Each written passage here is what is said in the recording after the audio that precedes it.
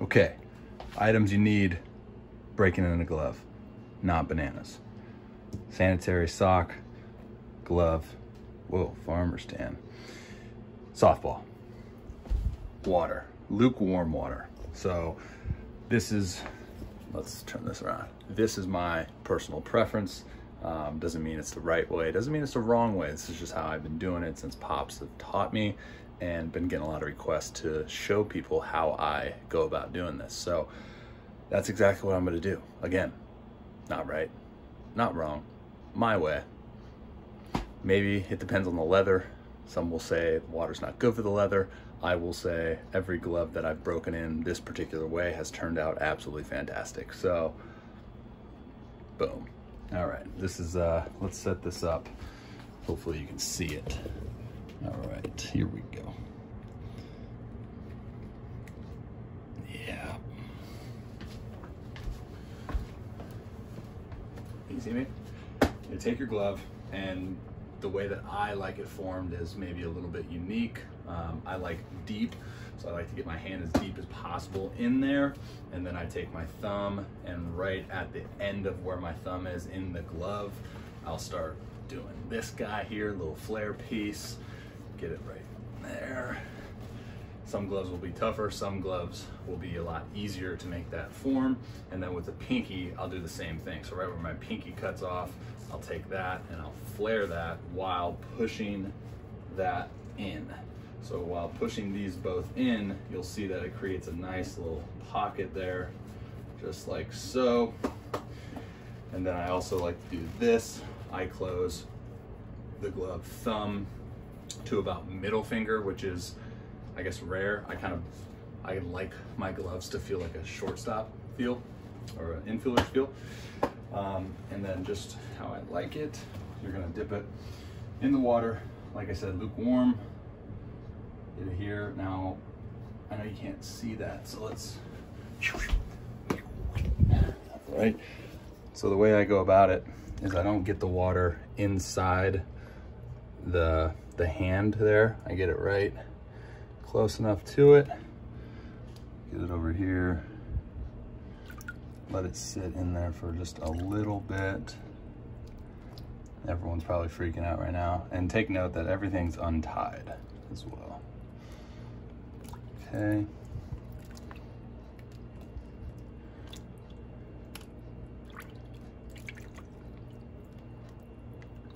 All right, like so.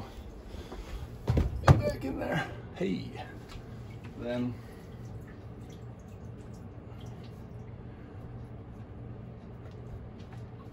get a nice one more shape.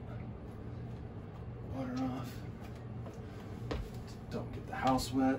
I take a softball and that's my pocket. Take a softball, put it right in there. And now this might be the two part job or two person job.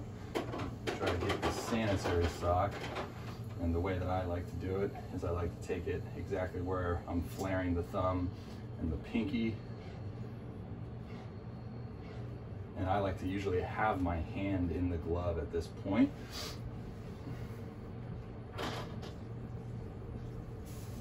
Mm.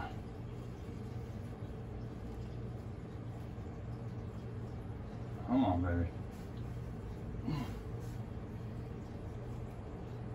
This is actually really impressive that I'm doing this, right? Okay.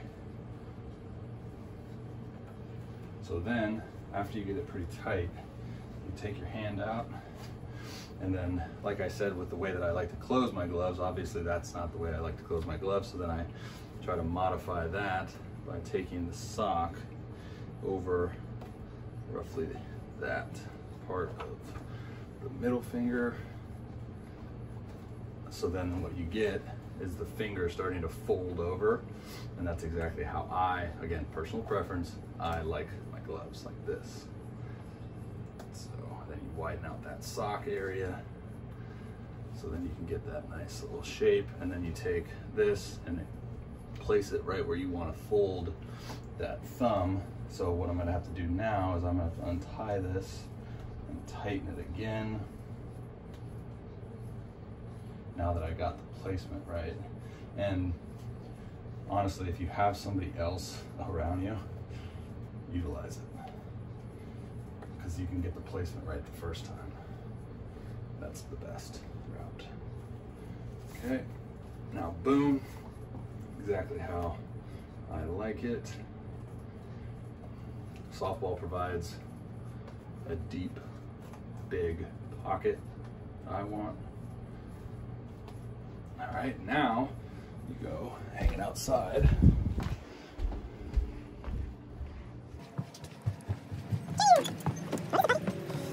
Where should we hang this thing? Usually it's right around here. Yep, there's the nail.